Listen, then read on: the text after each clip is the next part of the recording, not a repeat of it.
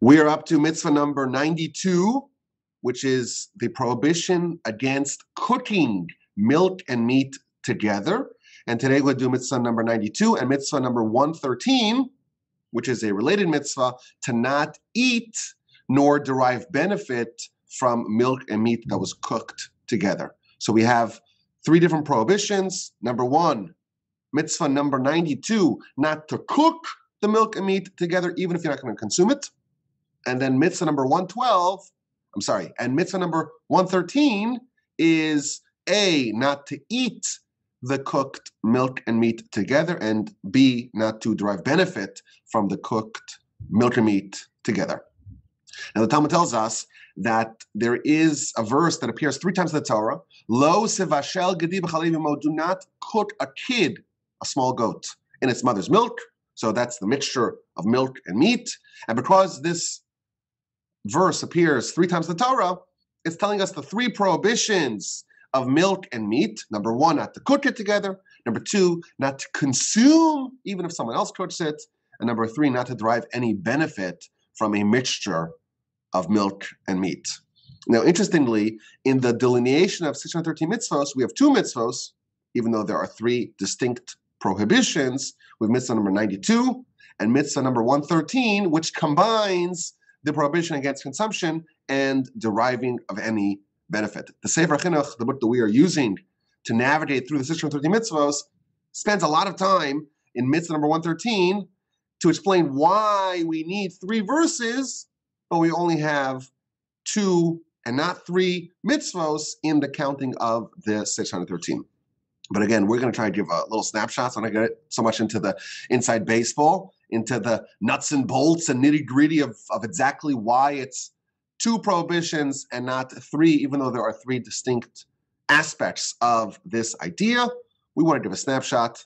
And I'll tell you that with respect to milk and meat and all the laws that flow out of this prohibition, people spend months and months studying and there are books, thick, really thick books that talk all about all the possible considerations. But again, we try we try to cover here like in you know, 20 minutes or a half hour, get a snapshot. But it's important to always remember that this is just a picture. This is just a snapshot. This is just a small window into a much bigger subject that we could spend a lot more time discussing at length. So the Sefer Chinuch begins by just explaining the basics. You know, the verse tells us don't cook a kid, a small goat, in its mother's milk. Seems to be much more narrowly focused than the actual law, which is not just the meat of a small goat, any meat of a cow, of a bovine, of a sheep, any meat in any milk, not just the milk of that particular animal's mother. So the Sefer Chinuch explains that the term Gedi, which means a kid, a baby goat, that is a generic term for any meat, and he brings a proof. Elsewhere it says Gedi izim, and that specifies goat, and therefore it says Gedi without any attribution, without any specification, that is a reference to any kind of meat. And similarly, just like the meat part of the mixture can be any kind of meat, so to the milk kind, so too the milk portion of the mixture can be any kind of milk for it to be part of this prohibition. And the reason why it says don't cook a kid in its mother's milk, it's just that was simply the most common way to do it. That's the most, you know, the, the most common liquid that you may have around but the prohibition extends to any milk or any dairy product. To use that as the base for cooking the meat would be a violation of this mitzvah. Consumption of the product would be a violation of the prohibition against consumption of milk and meat, and you would not be allowed to benefit from that, even if you're not consuming it. To benefit in some other way, that would also be a prohibition. Okay, so that's the basic idea of the law we have mitzvah number 92 to not cook it, even if you're not benefiting from it directly, you're not consuming it, you're cooking it for someone else, that will be a prohibition. And we have mitzvah number 113, referring to eating and benefiting, there is a prohibition against consumption and benefiting from milk and meat together. So let's go through some of the laws before we try to understand what the principal idea here is.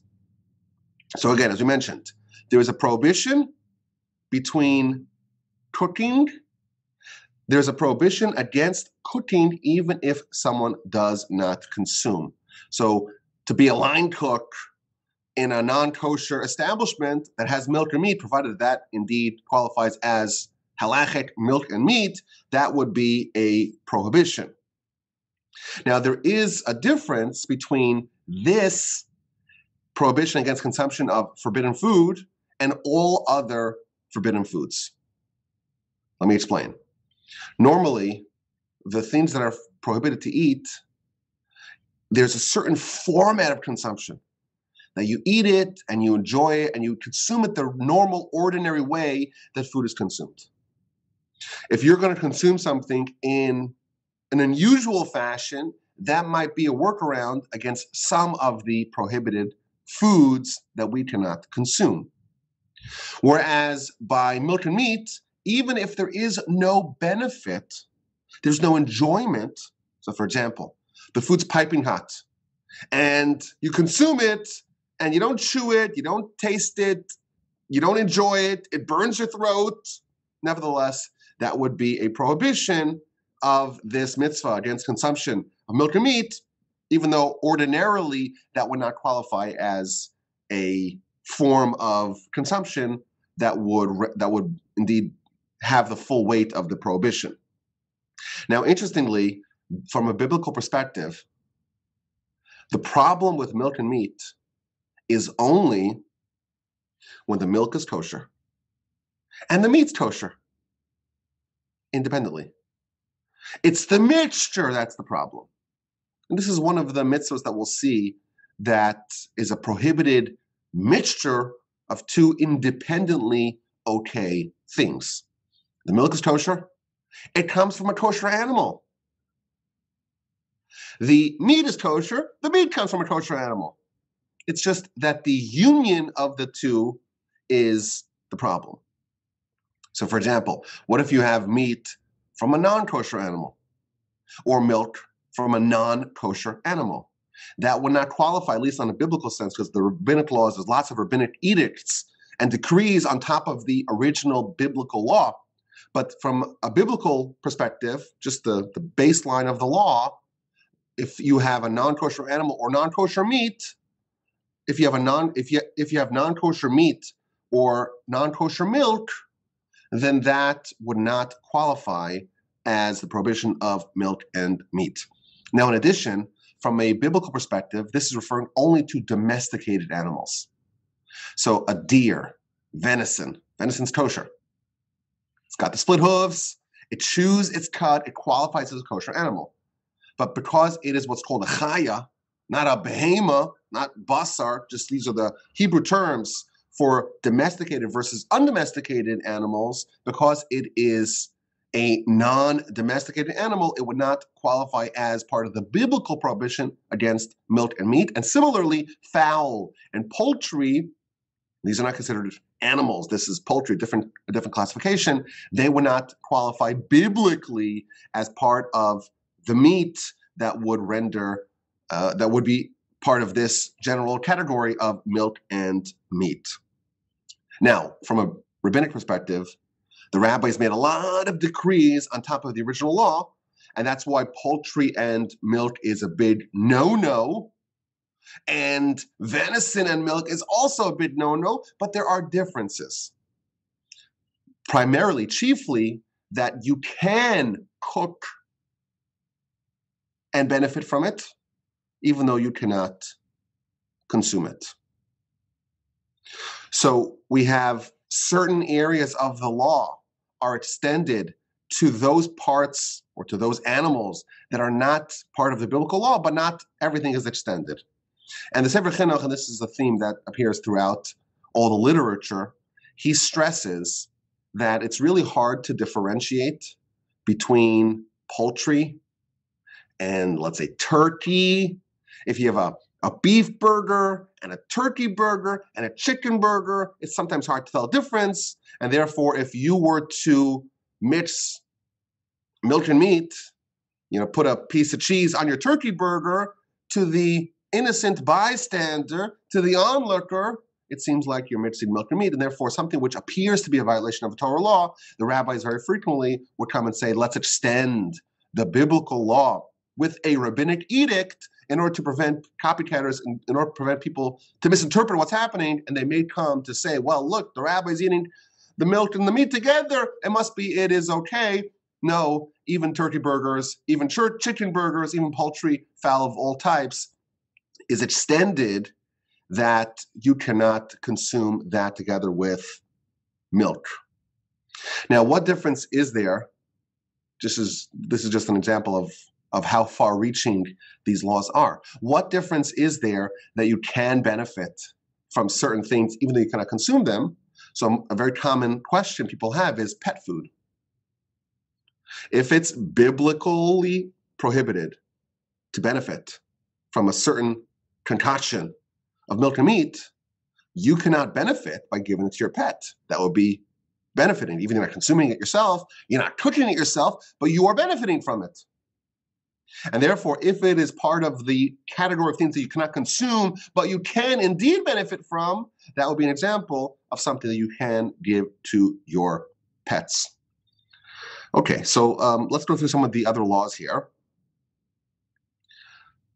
Because there is such an emphasis on the separation of the dairy, the milk, and the meat, the sages enacted the following decree. And this is both for meat, which is biblically prohibited to be mixed with milk, and for fowl, which is only rabbinically prohibited. There is a restriction against consumption of dairy products and of meat products on the same table. So suppose one kid's having a hot dog and the other kid's having a piece of pizza you got to put them on separate tables. Or at a minimum, one of them is on a tablecloth, and you pull up the tablecloth, and the other one's, on the, on the table itself. There's a distinction in the table between the part of the table that there's the consumption of the milk and the part of the table that there is the consumption of the meat. And again, this is a very unique situation in that this is a decree on top of a decree. Why? Because fowl, poultry, and milk, well, that's a rabbinic decree. And here we have a double decree. There is not only is there a concern of, of the poultry and the milk, but there's an additional decree to put them on separate tables, or at least in separate tablecloths, in order to prevent any sort of encroachment from one upon the other. In addition, and again, we're running through some of the laws here just to give the picture, the overall picture of what is included in this mitzvah. In addition, the sages enacted a waiting period, a cooling off period. Now, the exact length of this period is a subject of different customs. It's anywhere from one hour to six hours after the consumption of meat and poultry before the consumption of any dairy. So if you have a barbecue and you are observant of these laws, you would wait six hours or five hours or three hours or five and a half hours or one hour, different customs, before you have your ice cream. And the idea is, is that the meat potentially leaves residue in your mouth. Maybe there's some pieces of meat stuck to your teeth, and it takes a while for that to be cleansed out. And therefore, the rabbis instituted a waiting period after the consumption of meat before the consumption of dairy. Now, it doesn't work the other way around. So if you have dairy, immediately you can have meat, but if you have meat, you cannot immediately have dairy. And again, this is part of the rabbinic extensions of this law. From the biblical perspective, it's only when they're cooked together. Come along the rabbis and they say, well, there's a concern of some sort of residual leftovers of your hot dog, your steak in your teeth or in your mouth, and therefore it's a problem to consume milk or milk products afterwards. But vice versa, if you have your ice cream, if you have your pizza, you can go right afterwards to consume your meat, provided that you know the custom is to have, let's say, a drink of water, or even wait five minutes or something like that, but something negligible to make sure that there's actually nothing left over from the ice cream or dairy products. This, by the way, gives term to a phenomenon called fleischigitis. Have you ever heard of this term? So the Yiddish term for meat is fleisch or fleisch. And fleischig is when someone is under the restrictions because they have consumed meat. So for six hours after the consumption of meat, the way it was always described back in Europe, that person is quote unquote fleischig, meaning they're under the restrictions of someone who has recently consumed meat. So if you're worried that there's going to be like an appearance of an ice cream truck or someone's going to show up with chocolate, you don't want to be fleischig. You don't want to be under the restrictions of being someone who recently consumed meat, and therefore there's a fleischigitis, where you see something, it looks really nice, a stew, it's something you want to nibble on leftovers or something like that, but you have fleischigitis, you're terrified. What's going to be when I want the chocolate? When I want the M&Ms? When I want the ice cream? That's a problem. I, I don't want to take any chances. I don't want to put myself under the six-hour moratorium. Again, this is uh, there's a lot of ancillary discussion around this, but that is another component of this law. Another idea here, and this is very big, a very big subject, but we're going to cover it in a minute. There's the concept of 160th negligibility, meaning suppose you have your beef stew, and for whatever reason, you're drinking your coffee, and a drop of the milk or the milk that was in the coffee drips into your beef stew. What now? You have cooked milk and meat together. So there is a general principle called 160th negligibility that if there is a component of a mixture that is smaller than a 60th, so one unit out of 60, then that becomes negligible in most cases. In, for example, with chametz, there's no negligibility. So the tiniest drop of chametz is going to disqualify an entire vat of something which is kosher for Pesach. But with respect to milk and meat, if you have a drop of meat falling into, let's say, a, a, a milky, a dairy pot, or vice versa, with more than or fewer than a 60th of the encroaching either dairy or milk, it becomes negligible and the pot and all its contents can still be consumed. But again, there's a whole cascading list of laws of all the different scenarios and all the different permutations of this. But that's another general principle in this particular law. Now, listen to this. What about almond milk? the commentaries talk about almond milk because almond milk, it looks like milk. It's easily confusable with milk, but it is not milk. It's not dairy. So it's an interesting law that tells us that if that you can in fact cook meat in almond milk. However, because there's the concern of someone else seeing it and misinterpreting what's happening over here, you have to make sure that there are olives around. I'm sorry, you have to make sure that you have to make sure that there are almonds around, either in the mixture or next to the mixture, in a way that makes it evident this is almond milk and not regular ordinary milk. Another general aspect of this particular mitzvah is the idea of what happens to a pot when milk or meat was cooked in it. So there is a principle. So there is a principle that states that when you cook something, heat it can it it changes the status of the vessel in which something was cooked. Meaning, because there is food in a given pot, the heat is going to transfer some of that food into the walls of the pot, and that can be expelled, that can be excreted, so to speak, the next time that there is heat introduced to that environment. Meaning, if you have a brand new pot, it has no status. The second you put the meat stew in it, now that pot becomes a meaty pot. And therefore, if you were to cook dairy in that same pot, part of the residue, the leftover taste and experience of the meat that was cooked there previously is going to be expelled into the dairy, and that's a problem. And therefore, you have to separate your pots.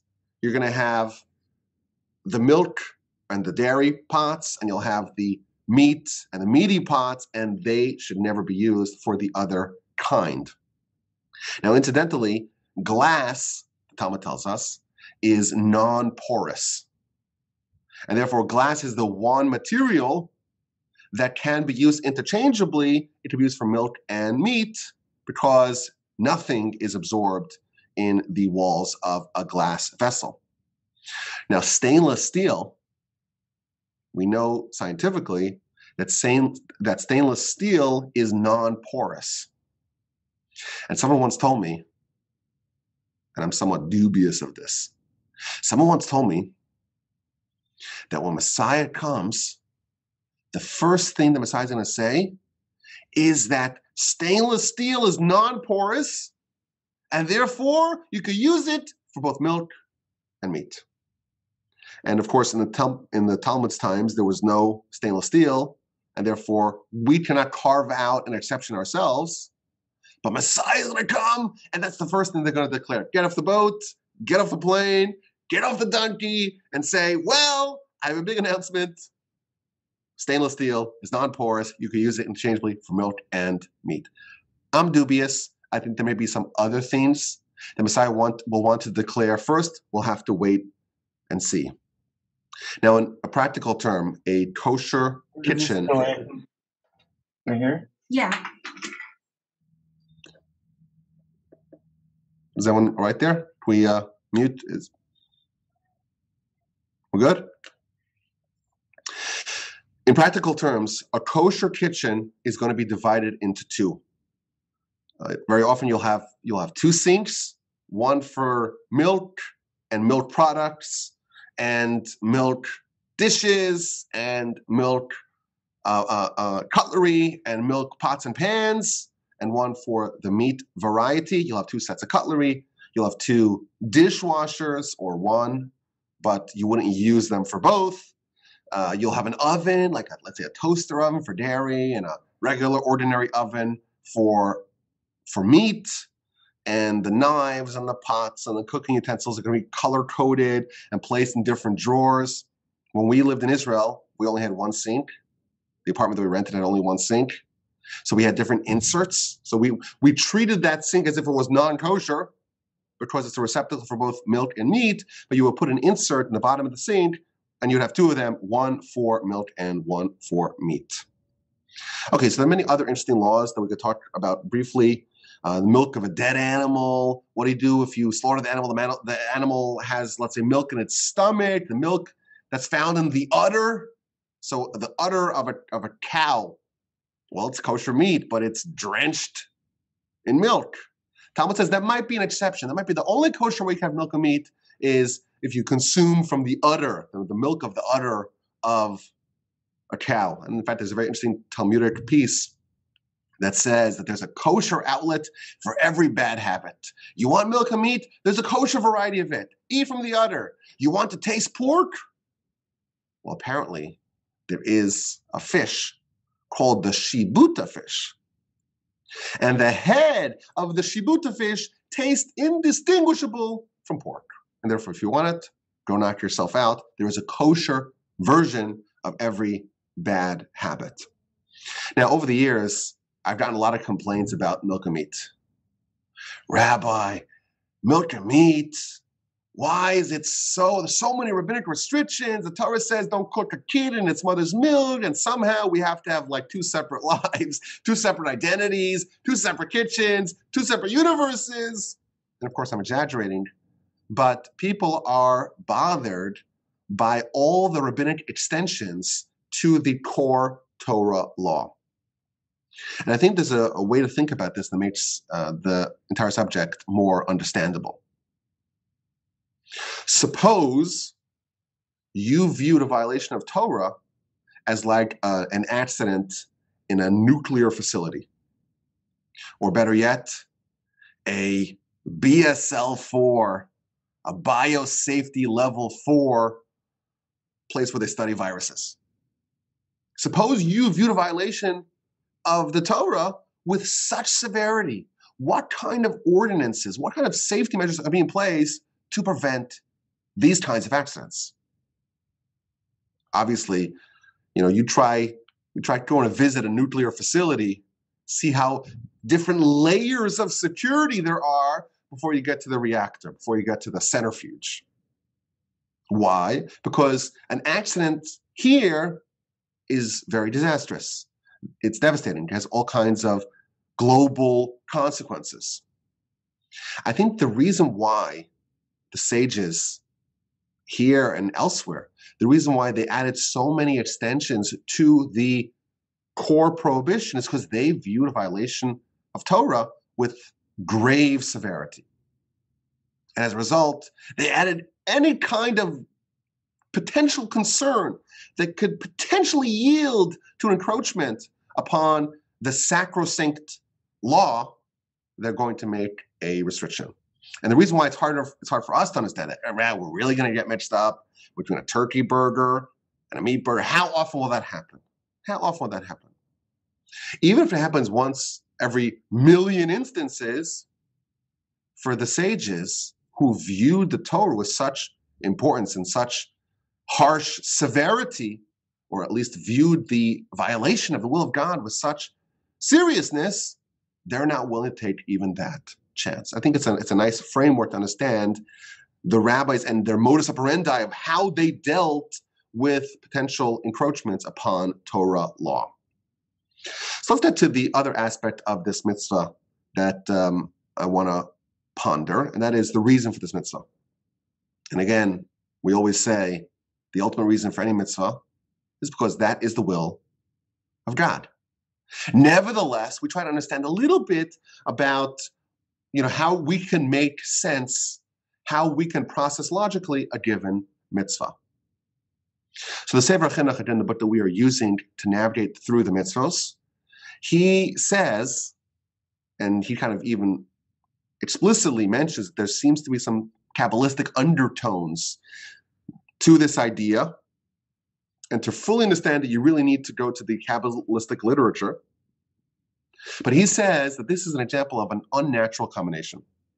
He doesn't really elaborate what that means, but the milk and the meat cannot be connected because there's something problematic about this union. It doesn't explain really what that is, but that would explain why, even if you're not going to consume it, just the mixture itself, just the cooking of this itself is problematic. And he quotes the Rambam. He's not a fan of this idea. He says, the Rambam says that this was an idolatrous practice. The idol worshippers would always mix the milk and meat, and therefore, as, an, as a way to kind of distance us from anything even tangentially related to the idol worshippers, the Torah prohibited the mixture of milk and meat. The Ramban, he says something that makes a little bit more sense to us. He says that all milk, well, it comes from, from animals. And all meat, it also comes from animals. And therefore, there's an element of cruelty for us to use the liquid that comes from animals to kill and to cook the animal itself. And therefore, as a way to distancing us from cruelty, the Torah says don't use the byproduct of an animal to process and to cook that said animal. A nice idea that makes a little bit more sense to us. And then there's Rabbeinu Bechaya, he says, listen to this. He says that milk comes from blood. It's processed through the animal and it turns into milk. But consumption of blood is likely to lead that person, person consumes it, into cruelty. And the milk reverts back to blood when it's mixed with meat. And therefore, if you're going to consume milk and meat, the milk part of that concoction is going to be or have the quality of blood in that it's going to make you more cruel. And therefore, That's his reason why we should avoid it. But ultimately, as we mentioned earlier, the real reason is because that's what God decreed upon us. I had a friend who told me that there are enzymes. I don't remember the details of what he said. Something to the effect of there were there are enzymes that are needed to digest meat. And when you add milk to that, the milk is not properly digested.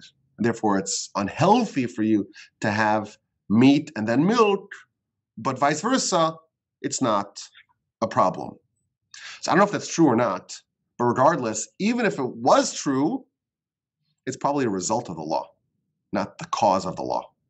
Meaning the Torah precedes the world, and therefore, if you find that a given Torah law is actually better for your health, it's most likely the result of the Torah, not the cause of the Torah, because again, the Torah preceded the world. So that's the mitzvah in a nutshell. Mixing milk and meat, we don't do it, we don't cook it, we don't consume it, and we don't derive any benefit from it. As always, my address is rabbiwolbajima.com.